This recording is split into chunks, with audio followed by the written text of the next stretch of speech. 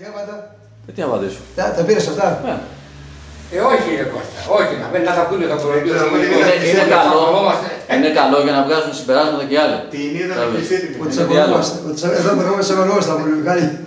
Ας κάνει ό,τι θέλει. Εγώ ήμουν Είδα που τα παίζει τώρα. Είδα που τα παίζει τα κουμπιά εκεί. Εσύ να με θα πεις τον πελάτη. Λοιπόν, Γιατί καλά. να με θα ακούς να με τι πανίζουν. Καλά. Τι έγινε. Αυτά να με έχουν να Άσε, με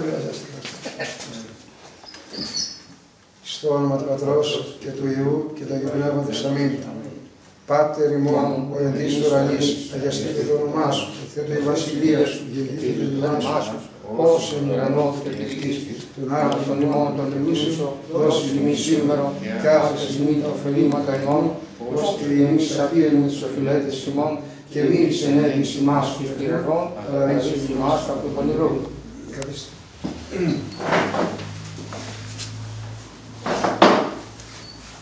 πονηρό. Καθίστε. Εν αρχή είναι ο λόγος Πατά Ιωάννη. και ο λόγος είναι προς τον Θεό.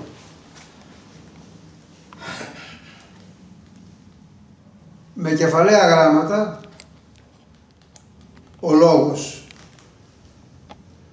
είναι ο ίδιος ο Κύριος μας ως ο Θεός. Εν αρχή για ποια αρχή μπορούμε να μιλήσουμε αφού είναι αναρχός. Ε, είχε ποτέ αρχή;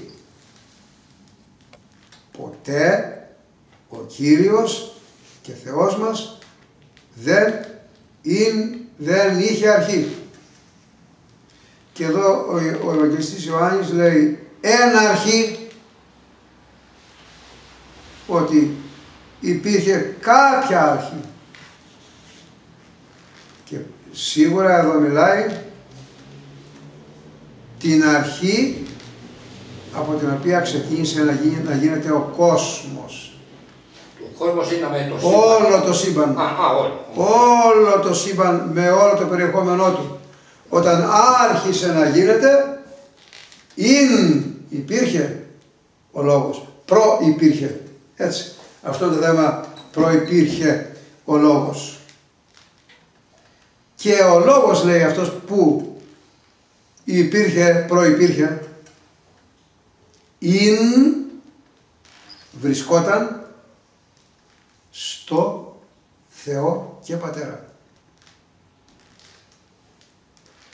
Θυμηθείτε αυτό που ο Κύριος ο ίδιος είπε.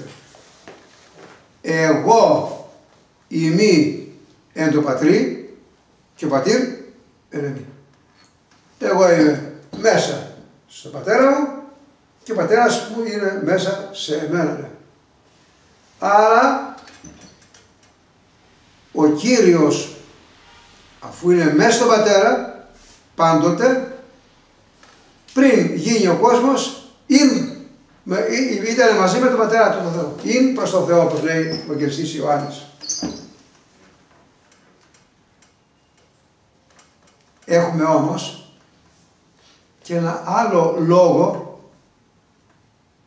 που γράφεται με μικρά γράμματα. Είναι ο λόγος αυτός. Που η γλώσσα λαλεί. Ανθρώπινος δηλαδή.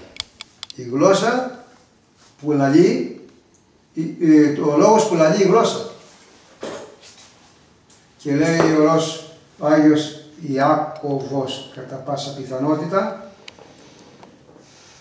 ή της, ή της εν γλώτη που πταίει όποιος ομιλεί με τη γλώσσα και δεν φταίει καθόλου σε αυτά που λέει, δεν έχει ψεγάδι, ούτως τέλειος Αγίου. Αυτός είναι ο τέλειος άνθρωπος. Επομένως, λαλούμε με τη γλώσσα. Λαλούμε, εκφράζουμε λόγο. Ξεδιπλώνουμε με τη γλώσσα μας ποιότητα καλή ή τέλεια. Αλλά με τον λόγο μπορεί να ξεδιπλώσουμε και κακής, κακής της ποιότητας περιεχόμενο λόγου. Και το ένα και το άλλο. Και για τα δύο είναι ο λόγος. Αρκεί να καταλαβαίνουμε ότι τούτη εδώ είναι που μαρτυρεί, που αποκαλύπτει, φανερώνει την ποιότητα που υπάρχει μέσα στον κάθε άνθρωπο του λόγου. Εκ το περίσσεμα της καρδίας. Την ποιότητα. Έτσι δεν είναι μεγάλη ποιότητα λόγου. Λέει ο Ραμαγγέλιος. Ναι, λέει, εγάρ της καρδίας έρχονται, Έτσι, έτσι. φόνη, μοιχεία, πορνεία, και φθόνη και το Και από καθεξής. την καρδία πάλι, Ναι, ναι, και γι' αυτό είπε ο Κύριος. ναι. Το αναφέρει και το άλλο. Υποκρίτα καθάρισε το έσωθεν του ποτηρίου, αυτό που είναι μέσα στο ποτήρι, όχι το απ' έξω που φαίνεται καθαρό, το μέσα. Το έσωθεν του ποτηρίου και της παροξίδος, που σημαίνει αυτό που ομιλείς άνθρωπε εάν ομιλείς μέσα από καθαρό περιεχόμενο καθαρής καρδιάς τότε η ποιότητά του είναι θεία αφού είναι καθαρό. Διάβαζα σήμερα το πρωί, έχω τη συνήθεια να διαβάζω τον Άγιο Μάξιμο τον Ομολογητή ε, ακριβώς επάνω στο θέμα αυτό γράφει το εξής και από εκεί άντλησα το θέμα το σημερινό που είναι ο λόγος. Ο λόγος γενικά. Ε, έγραφε λοιπόν το εξής.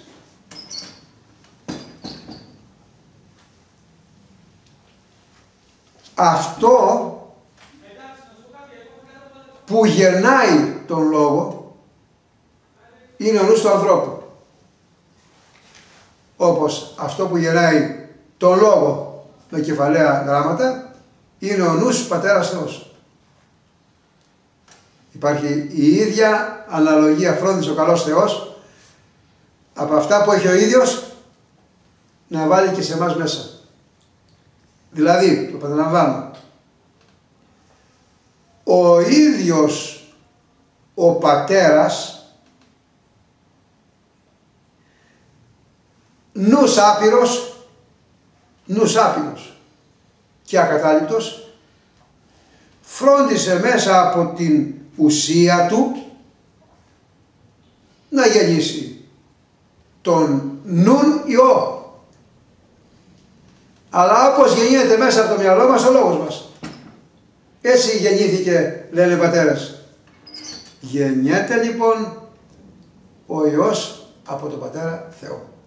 Γι' αυτό, επειδή γεννήθηκε από νου, άπειρο, τέλειο, Πανάγιο, γι' αυτό και ο Υιός είναι Άγιος, τέλειος, Πανάγιος. Είναι όμοιος, λέει ο Απόστολος Παύλος, ακριβές αποτύπωμα της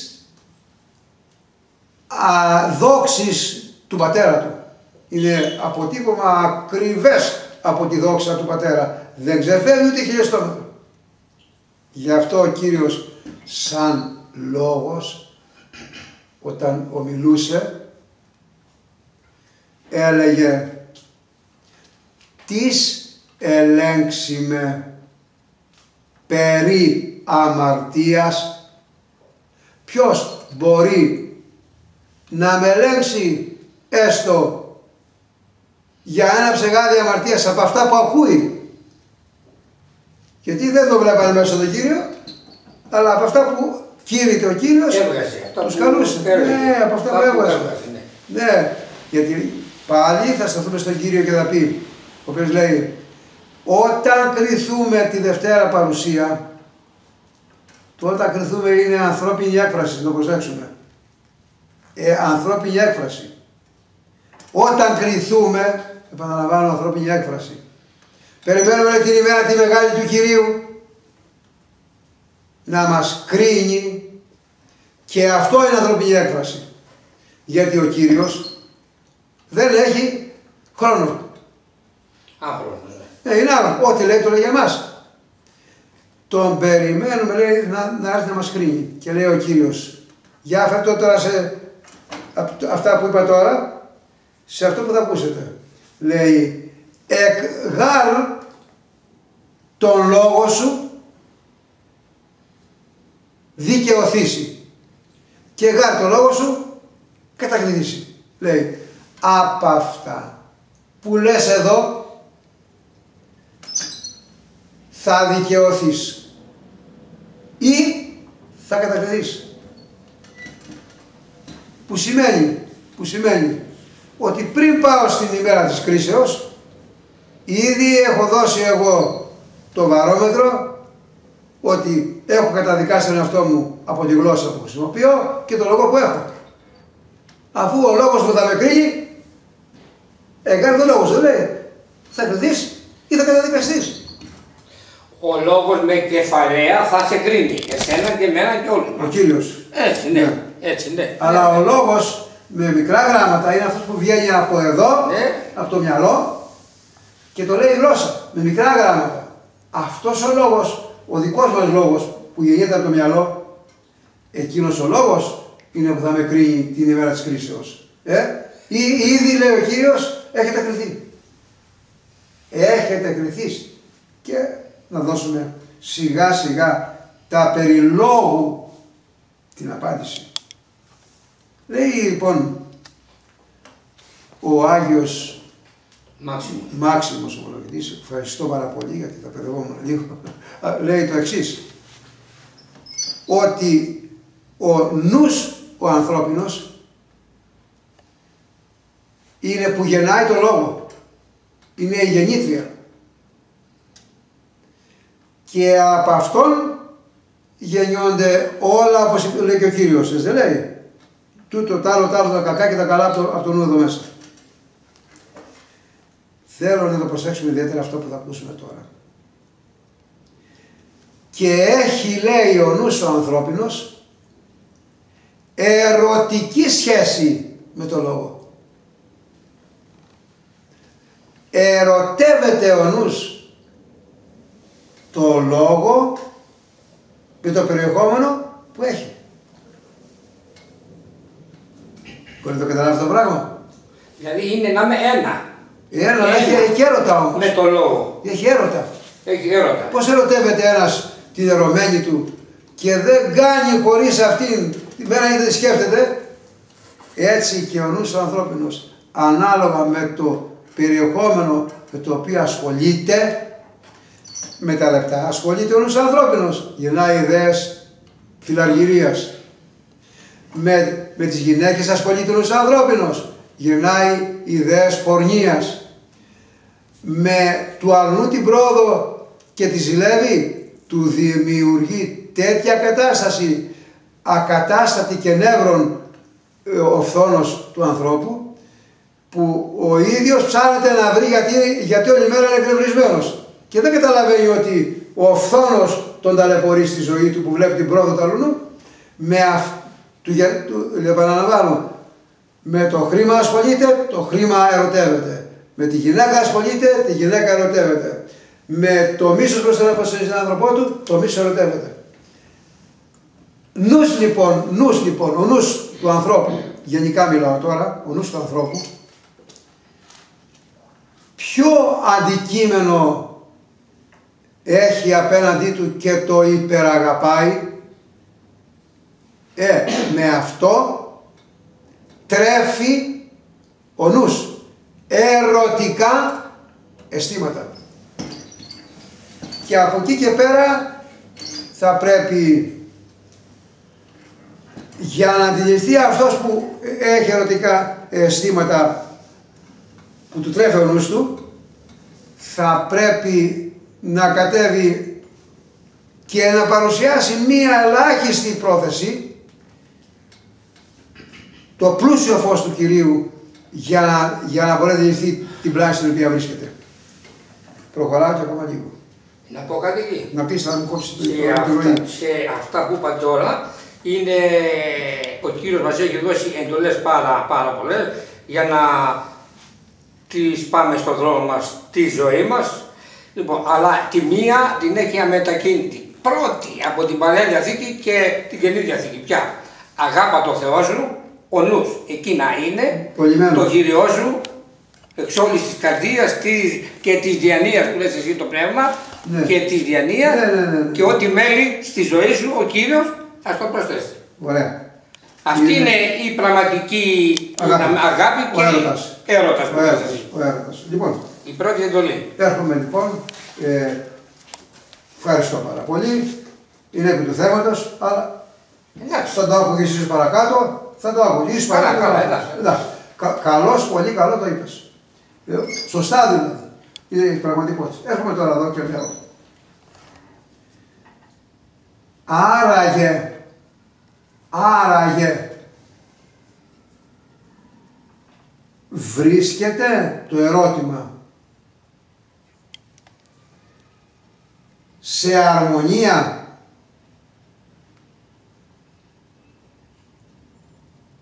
ο νους με το λόγο που λαλεί η γλώσσα. Για να υπάρξει αρμονία ακριβέστατη ανάμεσα στο νου και στο λόγο πρέπει να είναι ο νους σε ορθό δρόμο έξω από την πλάνη. Να πω τι ο Κύριος λέει πάνω σε αυτό. Ότι ο νόμος του είναι τέλειος. Αλλά επί της γης, αλλά επί της γης, δεν θα βρεθεί άνθρωπος να εφαρμόσει τον νόμο στο ακέραιο. Το λέει αυτό γραφή. Το λέει. Το λέει. Μα άνευε μου που Δεν θα- ποιήσετε Και κάτι καλό στη ζωή. πάλι, και πάλι Μιχάλη, Αν δεν με επικαλεστείτε, και πάλι, εγώ θα σας βοηθήσω. Από μόνοι σας μηδέν. και πάλι Μιχάλη, ε, έως ότου φτάσουμε εις άνδρα τέλειων, λέει ο Απόστολος Παύλος, εις μέτρων ηλικίας και να έχουμε κάποιο υλικό, ε, τέτοιο ανάστημα ηλικίας, αυτό λέει μέτρο, εννοεί ανάστημα ηλικίας πνευματικό, Α, είναι πραγματικό. πνευματικό ανάστημα, ηλικίας πνευματικό, μέχρι και αυτό, αυτό θα γίνει ο άνδρας ο τέλειος και η ηλικία να φτάσει στο τέρμα της όχι με ανθρώπινα μέτρα, σωστά υπόθηκε, αλλά ακριβώς όταν ο Κύριος πει έλα κοντά μου, εγώ σου δίνω τη χάρη μου και το ελαιός μου. Τότε ο άνθρωπος γίνεται τέλειος. Όταν δεν έχουμε φτάσει εκεί, υποκείμεθα, δηλαδή βρισκόμαστε κάτω από ατέλεια. Γιατί λέμε ουδής τέλειος. Πάντοτε. Πάντοτε, πάντοτε, Πάντοτε, πάντοτε. πάντοτε. Λοιπόν, άρα να προσέξουμε λίγο τι θα πω. Αυτό που λαλούμε και που έχει γεννήτρια το νου ποτέ δεν θα είναι τέλειο. Ποτέ. Ανθρωπίνος. Ανθρωπίνος. Γιατί κάπου στη γραφή λαλείται, αναφέρεται ότι η διάνοια του ανθρώπου, το μυαλό του ανθρώπου, έγκυται, είναι ακουμπισμένη καλά, όχι καλά, το λέει αλλιώς, επιμελώς, λέει η Γραφή, έγκυται επιμελώς επί τα πονηρά. Λέει, από την ημέρα που γεννιέται ο άνθρωπος, μέχρι την ημέρα που θα φύγει, το μυαλό του, του ανθρώπου, αν τον αφήσουν μονάχο του, θα είναι εντελώς ρηγμένο στα πονηρά. Άρα, τι μπορεί να γεννήσει ένας νους δοσμένος στο κακό, τα πονηρά μπορεί να γεννήσει. Της απώλειας της ψυχής. Τα πονηρά, δεν τα Θα χάσει την ψυχή Και κάτι ακόμη, και κάτι ακόμη.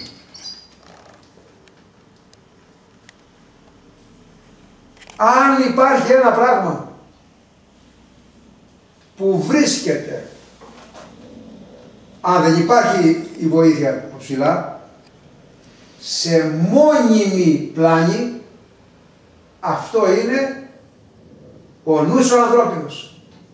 Ο νους ο ανθρώπινος βρίσκεται σε μία μονάχος του. Ε, ε, μονάχος του εντελώς, ε, σε μία μόνιμη πλάνη. Γι' αυτό και μπορεί να δεις έναν άνθρωπο που στηρίζεται τη λογική του να εξόγει τον αστημά του. Και αν ξέρει και γράμματα, να, να εψόγει τον εαυτό του αστρίου του ουρανού και να θεοποιεί τον εαυτό του. Δεν υπάρχει χειρότερη πλάνη ή να φτάσει στο σημείο εκείνο που λέει η γραφή. Εάν φτάσει ο ασεβής εις βάθος κακών καταφρονεί. Δηλαδή, ασε, ασεβής νους που δεν σέβεται Θεό, μπορεί να φτάσει σε πολύ μεγάλο βάθος κακίας και από εκεί και πέρα να πιάσει, να καταφρονεί. Δεν υπάρχει Θεός, δεν υπάρχει εκείνο, δεν υπάρχει το άλλο, υπάρχω μόνο εγώ.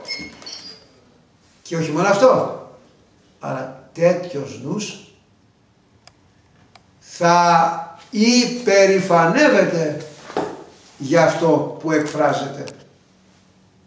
Θα υπερηφανεύεται και λέει ότι βλέπετε ποιος είμαι εγώ, Α, αυτός είμαι. Κατάφερα και ξεπέρασα όλα τα ταμπού.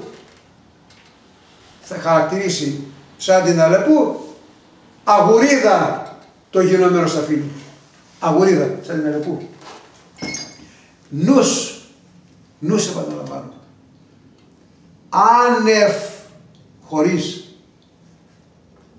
Θεό βρίσκεται σε τέλμα, βρίσκεται σε βάθος.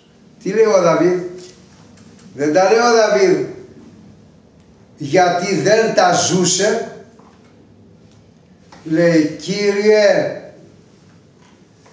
βρίσκομαι ελάκο κατωτάτο. Το έχετε προσέξει, διαβάσει ψαλμούς. Λέει ελάκο κατωτάτο. Και εννοεί αυτό το μυαλό που είναι πίχτρα στο κακό γιατί δεν θέλησε ποτέ να κάνει αυτό που λέει ο Απόστολος Παύλος επιλαβού της αιωνίου ζωής επιλαβού πιάσου σφιχτά από την αιώνια ζωή που είναι ο Κύριος και είσαι εντάξει. Άνθρωποι που δεν σκέφτηκαν ποτέ αυτή την πραγματικότητα να πιαστούν από την αιώνια ζωή σφιχτά αυτοί είναι σαν να πέφτουν από ψηλά πολύ μέσα στη θάλασσα μπλουπ και να μην βγαίνουν. Να πάνε στο βυθό μέσα και μέσα.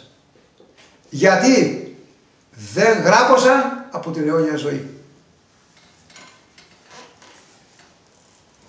Διάνοια, νους, σκέψη, όλα αυτά δεν είναι τίποτε άλλο μακρά, μακριά από το Θεό παρά ένας άσωτος Υιός που πορεύεται χωρίς τον Πατέρα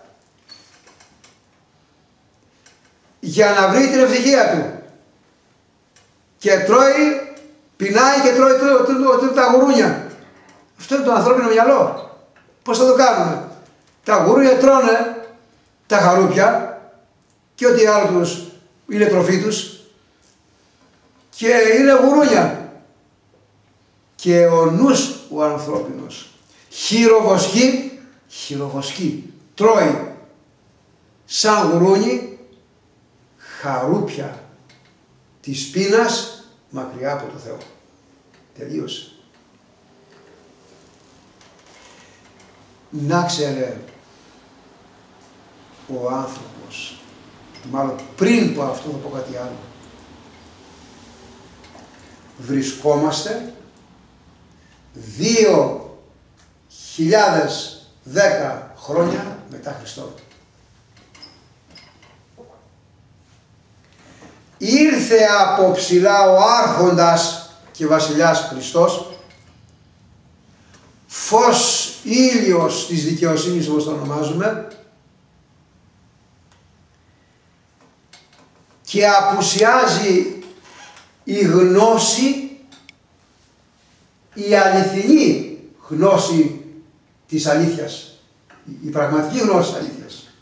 Απουσιάζει η πραγματική γνώση της αλήθειας. Καημένε Σοκράτη που έζησες 2.300 χρόνια και κάτι πριν γεννηθεί ο Χριστός αληθινά ο Κύριος πρέπει να σε έχει καλέσει κοντά Του. Γιατί σωστά είπες ότι δεν ξέρεις τίποτα. Γιατί καταλάβαινες ότι δεν, ήταν, δεν είχε έρθει αυτός που θα ανοίξει τα μάτια. Λέει, το λέει ο ίδιος. Ουδής εκών κακός. Κανένας από εκείνους που κάνουν το κακό δεν το κάνει με τη θέλησή του. Γιατί, γιατί τη θέλησή του τη τραβάει αυτός που τον τραβάει στα σκοτάδια. Που τον αφήνουμε και έρχεται και μαγκώνει τη θέληση και μας τραβάει στη γνώση τη δική του. Ο διάβολος. Έλεγε ο Σοκράτης, αν γνωρίσει ο άνθρωπος ποιο είναι το καλό, δεν το ήξερε και ο ίδιος. Το λέει, το ίδιο το λέει. Αν ρωτήσει ποιο είναι το καλό, θα πάψει να το κάνει. Εκόν κακό σημαίνει δεν γνωρίζω το καλό και το κάνω και, και άλλο το κακό. Επομένως, Σοκράτη, έλα εδώ να πεις στη σημερινή γενιά και σε κάθε γενιά μετά Χριστόν. Τι είναι η γνώση; Ότι ανοίγει μάτια για να γίνεις άνθρωπος να βλέπεις ψηλά, όχι να βλέπεις χαμηλά. Κοντά στο νου και η γνώση. Η γνώση. Δεν είναι μακριά από το νου η γνώση. Θέλουμε επομένως, το λέει και ο Παΐσιος, το λένε και οι πατέρες όπου και να ανοίξουμε, ότι οδεύει ο ανθρώπινος νους, η ανθρώπινη σκέψη, χωρίς τη μαρτυρία του Θεού, χωρίς τις εντολές επομένως, όπως είπες πολύ σωστά προηγουμένως, οδεύει οδό πλάνης, είναι πλανεμένος. Πλανεμένος πέρα για πέρα.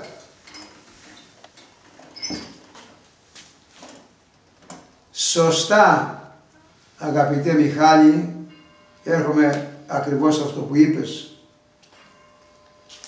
Τι να κάνω Κύριε να πάω στον παράδεισο; Έτσι δεν είπε ο νέος που τον πλησίασε. Και του είπε. Αυτό που υπόθηκε το παραλαμβάνουμε και τώρα από το, από το Μιχάλη. Αγαπήσεις Κύριο το Θεό σου. Εξ όλης της καρδίας σου. Εξ όλης της ψυχής, σου και εξ όλης της ισχύω σου. Και το πλησίος σου. Και διάνοια. Ε; Να με τη διάνοια. διάνοια, καρδία, ισχύ, τα έχει όλα μέσα. Α, τα έχει όλα. Ναι, δηλαδή, με άλλα λόγια, με όλο το είναι. Το Θεό, να τον αγαπάμε με όλο το είναι. Άρα, ο Άγιος Μάξιμος Ομολογητής, όταν βλέπει ότι ο νους ο ανθρώπινος έχει αντικείμενα που τα ερωτεύεται και αν είναι υλικά τότε ο νους είναι σκοτεινός. Και αν είναι το θείο τότε ο νους είναι φωτεινός. Και έχει λέει ερωτική σχέση ερωτική σχέση, χωρίς ερωτική σχέση δεν γίνεται. Αυτό είπε προηγουμένως και που λέει το Ευαγγέλιο. Έρχομαι λοιπόν και λέω τώρα.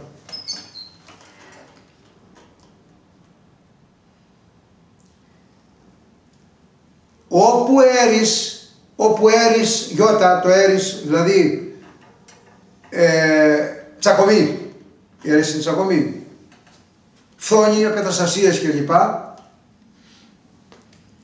Νους εκεί με την ακρίβεια της έννοιας δεν υπάρχει.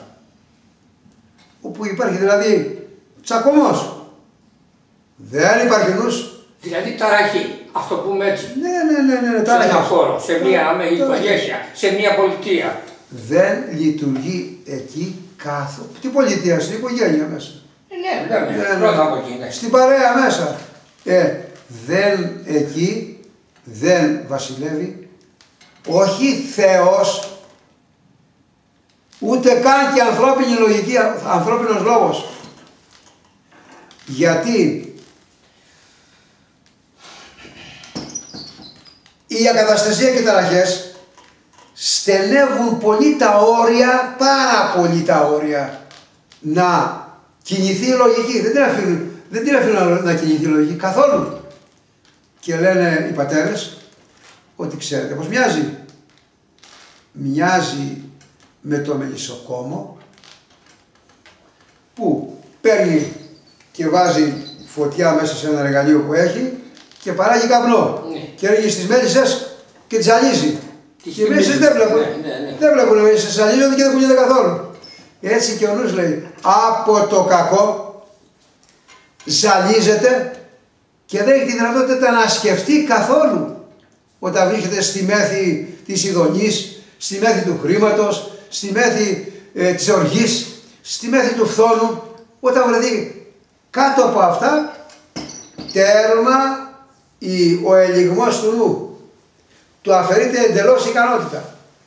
Δεν έχει καμία δύναμη, μα καμία δύναμη να κουνηθεί. Και λέει μετά ο άλλος, έχω εγώ λογική τετραγωνική. Στο κακό. Η λογική του κόσμου, Ναι, στο κακό. Του κοσμική λογική. του συμφέροντος. Ναι, άμα το συμφ- και το χρήμα και αυτά συμφέρον είναι. Ναι. Λέει ικανοποίηση της, της άρκας. Όταν λοιπόν πάμε τώρα και στον αδερφό, Θεο, αδερφό Θεό Ιάκωβο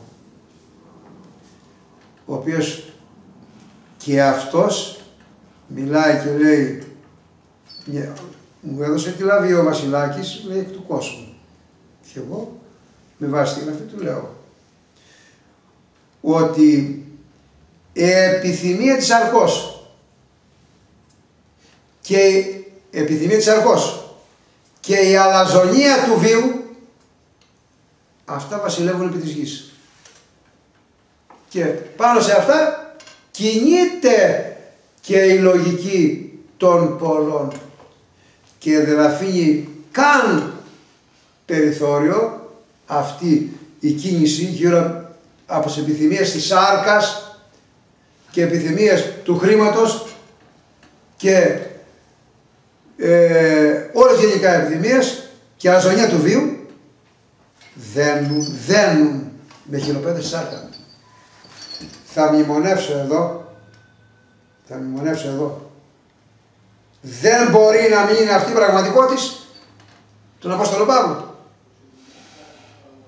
που βλέπει τον εαυτό του, όχι άλλον, ε, τον εαυτό του, να είναι αγκαλιασμένος με ένα νεκρό πτώμα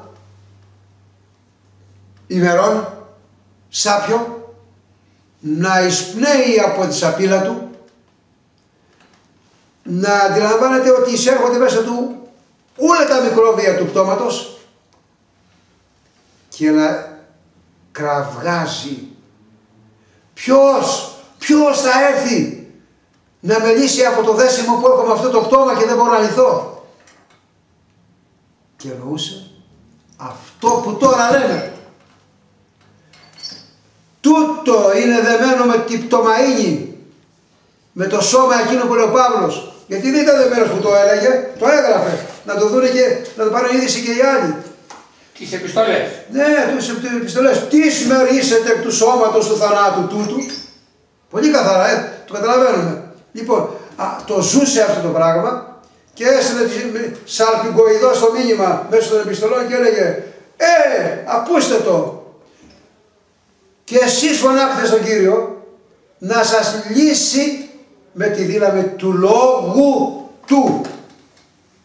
Και λέει ο λόγος του Θεού, λέει ο Παύλος Απόστολος, ο λόγος, λόγος και ο λόγος του Θεού, λόγος και αυτός, ο λόγος του Θεού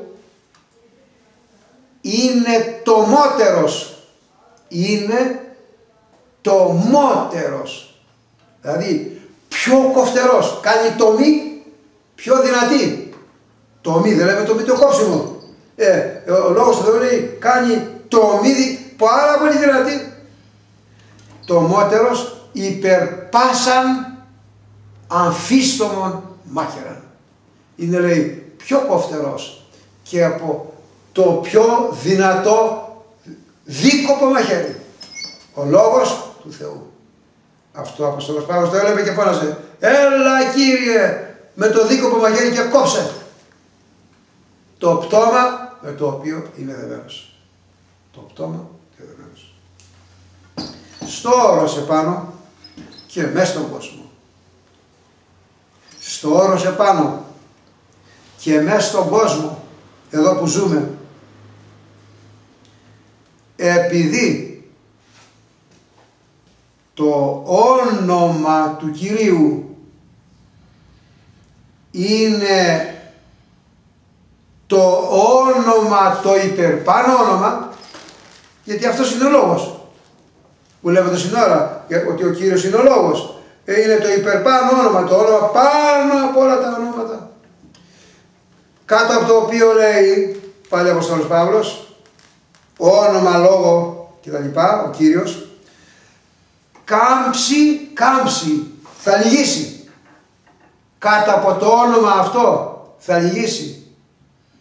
Παν γόνι, κάθε γόνατο ουρανίων και επιγείων και καταχθονίων.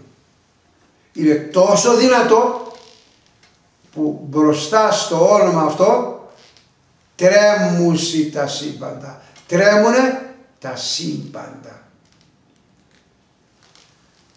Και με το λόγο λοιπόν, προσέξουμε, λόγο αυτών που τρέμουν τα σύμπαντα με το, και με τον λόγο αυτό ασχολούνται στο Άγιον Όρος όλη την ημέρα. Όλη την ημέρα. Και εδώ στον κόσμο όσοι έχουν κατανοήσει καλά ασχολούνται άλλοι, άλλοι πολύ, άλλοι λίγο με αυτή τη δύναμη του λόγου που λέει Κύριε Ιησού Χριστέ ελέησον. Γι' αυτό το μνημονεύουν όλοι στο όρος και όσοι κατανοούν εδώ στον κόσμο. Γιατί με αυτή τη δύναμη που έχει και θα κάψουν ουράνια και πήγε η καταγόνια, με αυτή τη δύναμη κόβεται ο άνθρωπος από το κακό μέρα με τη μέρα. Όχι απότομα, μπορεί να μάθει τίποτα. Λέει γέροντα Θέλω να τον αγαπήσω τον Κύριο. Στον πατέρα Παΐσιο με μαλακή του κάνει ερώτημα. Αλλά δεν καταλαβαίνω ότι τον αγαπάω. Άμα καταλάβαινες τον αγαπάς, ίσως πάθαινες τίποτα, λέει ο Κύριος Παΐσιος. Αλλά αυτό θα έρθει σιγά σιγά με την αγαπητική προαίρεση που θα έχεις στο όνομα του Κυρίου. Αγαπητική, ερωτική προαίρεση στο όνομα Λόγο Κυρίου. Εν αρχή είναι ο Λόγος, αλλά έκτοτε από τότε που ο Λόγος έγινε, έτσι, που υπήρχε, όχι έγινε, ε, μέχρι σήμερα δεν πάβει να είναι και μέσα μας ο λόγος αυτός. Υπάρχει και μέσα μας ο λόγος αυτός.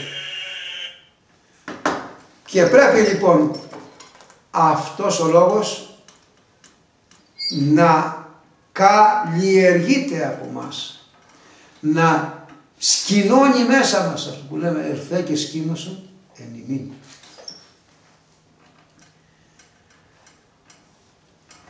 Εν αρχή λοιπόν είναι ο λόγος, ο λόγος δημιουργεί το λόγο τον ανθρώπινο, τη λογική. Ο λόγος, η λογική κινεί, τον, κινεί τη γλώσσα του ανθρώπου. Η γλώσσα του ανθρώπου χωρίς τον λόγο του Κυρίου είναι έξω από την αλήθεια εντελώς. Χωρίς τον λόγο του Κυρίου είναι έξω από την αλήθεια εντελώς. Τώρα, λέει εγώ η Αγία Γραφή θα σε στείλω κάτω στη γη. Ε, υπάρχει ένας διάλογος. Πατέρα και γιος. Πατέρας δίνει προς τα γη. Στο γιο. Μέσα στη γραφή. Στον Ισαΐα. Στον Ισαΐα. Λέει θα κατέβεις κάτω και θα μεταφέρεις νέο νόμο, νέο λόγο. Αυτό στα εβραϊκά έχει την ονομασία μισπάτ. Δηλαδή νέο νόμο, νέο λόγο. Αυτός ο νέος λόγος που θα κουβαλήσεις, θα κουβαλήσεις και θα πας κάτω στη γη, εσύ θα είσαι ο λόγος, θα μεταφέρεις το λόγο, θα ανακοινώσεις το λόγο στους επιγεί, επιγείς ανθρώπους που έχουν νου και λόγο. Και τι θα κάνει ο λόγος σε αυτούς που, που είναι κάτω; Ανοίξε οφθαλμούς τυφλών. Θα ανοίξει ο λόγος σου τα μάτια όχι του σώματος, τον τυφλό στην ψυχή, θα ανοίξει τα μάτια εκείνων που είναι τυφλοί στο, στην ψυχή. Ακόμη θα λύσει τους εχμαλώτους. Ποιους εχμαλώτους θα λύσει ο, ο λόγος ο, ο καινούριος; Αυτό που είπαμε προηγουμένως. Που είναι σφιχτά δεμένοι με το πτώμα της αμαρτίας και ο λόγος η δύναμη αφού είναι λόγος να κόβει το σάπιο και να φύγει το καλό το καθαρίζει. Ε, λοιπόν, θα λυτρώνεις τον δέσμιο, τον εγμάλωτο εκείνον που έχει κολληθεί σαν τη δέλα επάνω στο κακό και τον τρώει και τον συφοριάζει και τον κάνει κακομύρι πέρα για πέρα. Το λόγο του Θεού. Ανοίξε λοιπόν, θα ανοίξει τα μάτια του τυφλού. Θα μου πεις τώρα Μιχάλη και θα σου πεις να συνεχίσεις. Ναι, να με θα πω Κύριε, ναι, θα εσύ είσαι εσύ δεν σε το ξέρεις. Κύριε, γιατί τους μιλάς σε παραβολές; Θυμάσαι τι απάντησε ο Κύριος; Παραβολές ε, νομίζω γίνεται πολύ να είμαι κατανοητός πλέον. Ε; Σε αυτούς που έχουν διάθεση. Ναι, να με που λέμε εμείς. Αυτά είναι τα σίκα και αυτή είναι η σκάφη. Δηλαδή απλά. Έχουν διάθεση. Ναι. Ο κύριος έδωσε απάντηση και είπε. Για Επειδή υπάρχουν και αυτοί οι πορωμένοι που δεν θέλουν να ανοίξουν τα μάτια τους καθόλου, ε, μιλάω, αφού δεν θέλουν να ανοίξουν τα μάτια τους και είναι πορωμένοι, αυτοί να μην τα καταλαβαίνουν, αλλά να καταλαβαίνετε εσείς, όπως είπες προηγουμένως εσύ. Ναι. Για να καταλάβετε εσείς. Γι' αυτό μιλάμε απλά με παραβολές. Οι άλλοι είναι βλέποντες, μη βλέπωση, το λέει. Ενώ, ενώ βλέπουν και ακούνε αυτά που λέω, δεν τα βλέπουν και ενώ έχουν μη κατανοήσωση ο νους τους να μην τα Κατανοούν. μην τα καταλαβαίνει. Είναι αυτή, αυτή η απάντηση αποτέλεσμα της κακοπροαίρετης θέλησης. Εδώ η θέληση είναι κακοπροαίρετα θα σου έχει στο κακό και όσα να έλεγε ο Κύριος στο Σταυρό τον ανεβάζανε. Όπως τον ανεβάσανε στο Σταυρό επάνω. Τελείωσε. Κακοπροαίρετης. Μην δεν ήταν τρία χρόνια ο Ιούδας μαζί του. Ο δε παράνομος Ιούδας ουκ η βουλήθη συνιένε. Δεν θέλησε να, στο συνιένε σημαίνει συνιένε. Δεν θέλησε να βάλει μυαλό. Όχι να καταλάβει τα θεία, αλλά μυαλό. Και το μυαλό δεν λειτουργεί χωρίς Θεό. Γι' αυτό τον λέει ιό της απολίας. Ναι, ιό της Ότι χάθηκε. Χάθηκε. Ναι, ναι, ήρθα λέει να σώσω. Ω, σωθήκατε όλοι εσείς. Ναι. Αλλά ο Υιός Απολίας έμεινε στην απώλεια. Η μη μόνο τον ιό της απολίας που χάθηκε μάλιστα. Επομένως, επομένως, όλα όσα γίν, γίνανε από τον Κύριο, όσα έπραξαν οι Απόστολοι, ή και κήρυξε ο Κύριος ή και κήρυξαν οι Απόστολοι, είναι καθαρά θείος με κεφαλαία γράμματα λόγος. Θείος λόγος. Και ανοίγει τα μάτια εκείνων που καταλαβαίνουν ότι είναι τυφλοί και θέλουν να τα λύσουν. Και λένε εσύ είσαι Κύριε το φως του κόσμου. Ε, με αυτό φωτίζεται το φως μας και όταν φωτιστεί τότε φωνάζουμε. Όταν φωτιστεί ο νους του ανθρώπου και όλος ο λόγος εξαγιαστεί, ο λόγος εδώ που υπάρχει, εδώ είναι ο λόγος, στο νου μαζί και η γλώσσα λαλεί. Έτσι δεν είναι. Όταν λοιπόν όλα αυτά φωτιστούν θα κράξει αγαθή κραυγή. Είδομεν το φως του αληθινών. Το είδαμε. Δεν το βλέπαμε μέχρι τώρα. Αυτό σημαίνει το είδαμε που λέει Εκκλησία. Μέχρι τώρα δεν γνωρίζαμε το φως. Τώρα εμείς που έχουμε αγαθή προαίρεση και σε δεχόμαστε, σε ευχαριστούμε. Είδαμε το φως των αληθινών. Βλέπετε η Εκκλησία Αποστόχη και λέει μετά όταν τελειώνει αφού το είδαμε ή το όνομα Κυρίου ευλογημένο. Εις αιώνας. Το αφού το είδαμε Μέχρι τη- τη συντέλεια του κόσμου. του λες τότε, τότε λες σε ευχαριστώ που σε είδα και είσαι φως και φώτισες τον λόγο μου, τη λογική μου και μπορώ και βαδίζω με τη βοήθεια του φωτός του αληθινού σαν άνθρωπος όσο με βοηθάς εσύ το δρόμο το φωτεινό. Ή, ή το όνομα Κύριου Λογημένου και σε όνος.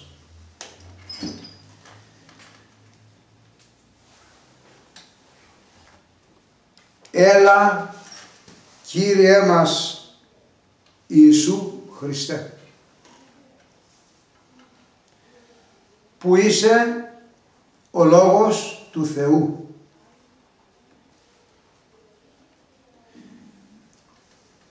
Να μας ανοίξεις με το φως το δικό σου γιατί είσαι φως. Ξέρετε που είναι σκοτάδι το φως του Κυρίου το ξέρετε το φως. Το κοινό φως. Μας δίνει μπροστά του έχουμε φως. Μας φωτίζει. Αν απουσιάσει θα έχουμε σκοτάδι. Ένα φως. Ας πάρουμε τον ήλιο παραδείγματος χάρη. Όλα τα όντα τα φωτίζει, την κουκουβάγια της σκοτεινιάζει. Ή την νυχτερίδα. Και ο Κύριος όλα, το λέγω προσέξτε το, τα λογικά όντα, τα λογικά, θα το, θα το δώσω ερμηνεία πάνω στα λογικά όντα, τα φωτίζει. Τα άλογα όντα δεν τα φωτίζει. Και το εξηγώ και τελειώνω. Ο Άγιος Αντώνιος στο πρώτο τόμο της Φιλοκαλίας, το έχω διαβάσει 50 φορές, λέει το εξής.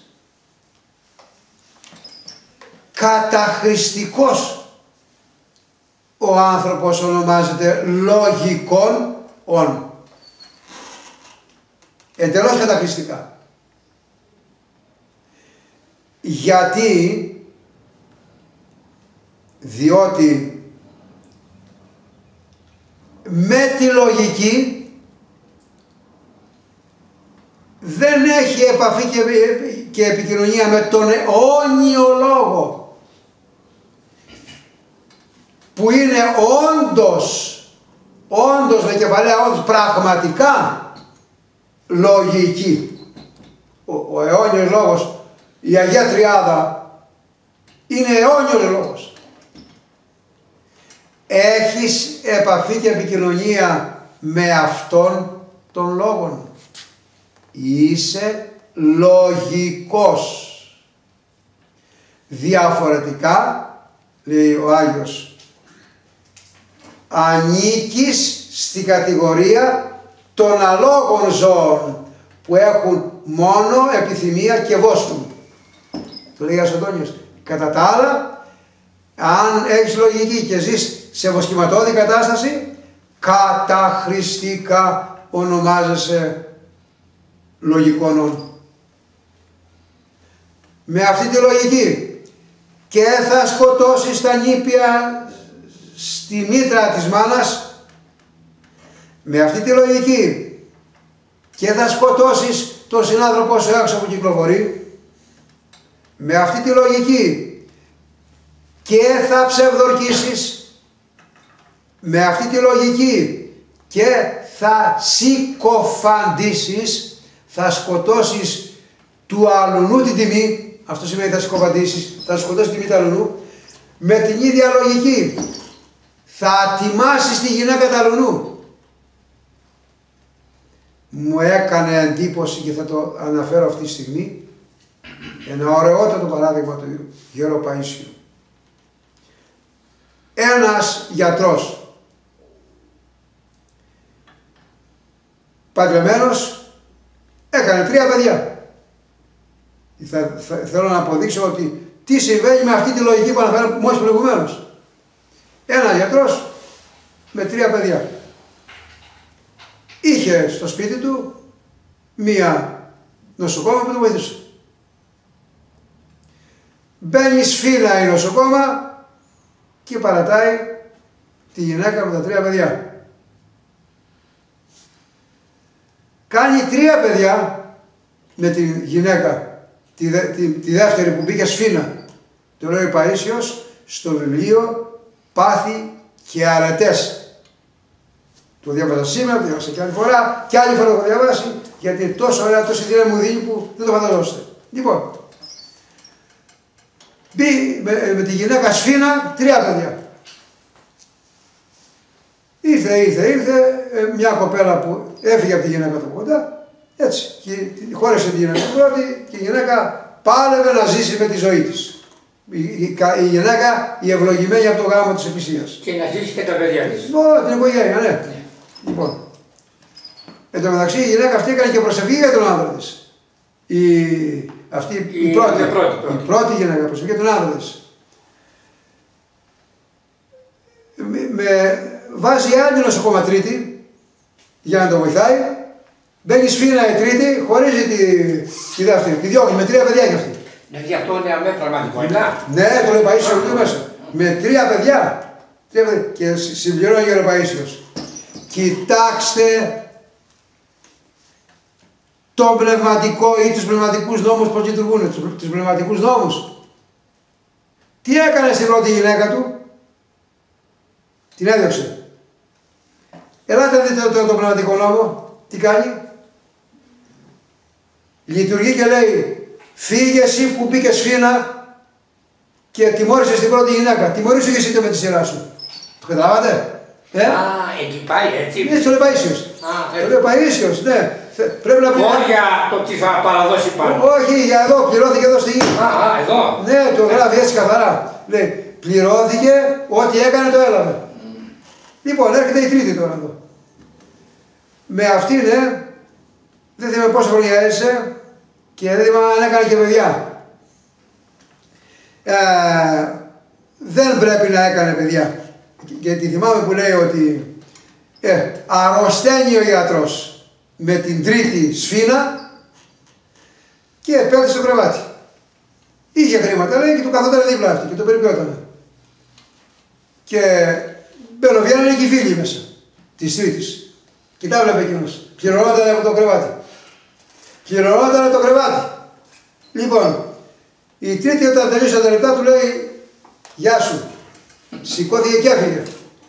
Τον άφησε αρρωσταίνει, όπως ήταν άρρωστη, όχι, όπως ήταν άρρωστος, έρχεται η τρίτη και τον, μα- η πρώτη γυναίκα του, η ευλογημένη από το γάμο και τον μαζεύει.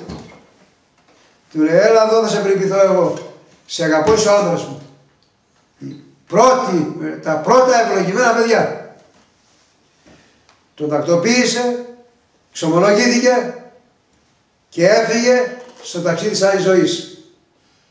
Και, λέει, και το μεταξύ, λέει ο Κύριος πώς την πλήρωσε τη γυναίκα αυτή που είχε τόση υπομονή, τόση προσευχή στον κόσμο αυτό, πώς την πλήρωσε, να το δούμε.